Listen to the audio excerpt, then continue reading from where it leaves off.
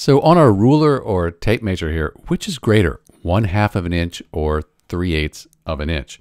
So if you look at a ruler right here, we have our one inch and we're going to cut that in half. That gives us half of an inch. So there's our half an inch.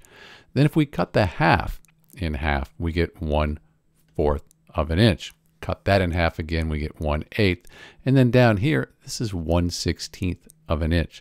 So we want to know one half or three eighths. So here's one half. This is one eighth, same distance, two eighths, three eighths. So right here is three eighths of an inch. And you can see that one half of an inch, that's greater, it's larger than three eighths of an inch.